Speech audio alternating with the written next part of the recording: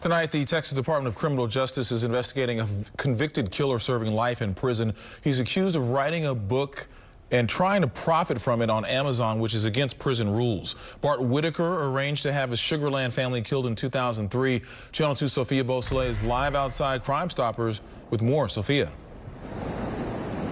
Well, the Texas Department of Criminal Justice says it is aware of the book, and the inspector general is currently investigating to see if Whitaker violated any policies. In 2003, investigators initially thought an intruder shot and killed 51 year old Patricia Whitaker and her 19 year old son Kevin at their Sugar Land home. The father was also injured, and so was the oldest son, Thomas Bart Whitaker.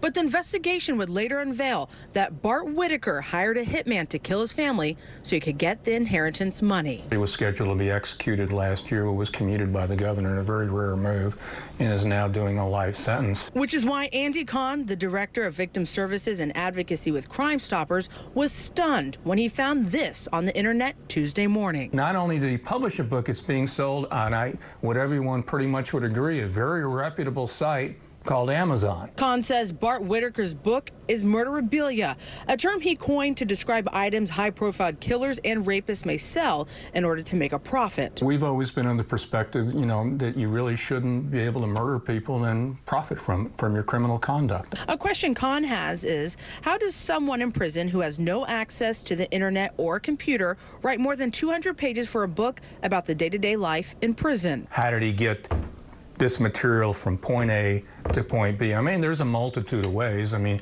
people can come in and visit. U.S. mail is usually the primary conduit anyways. And that's part of a bigger topic. Under the First Amendment, inmates can write whatever they want, but the conversation changes whenever they try to make money off of it. And the TDCJ says offenders are not allowed to make money off of their status as offenders. Sophia Beausoleil, KPRC, Channel 2 News.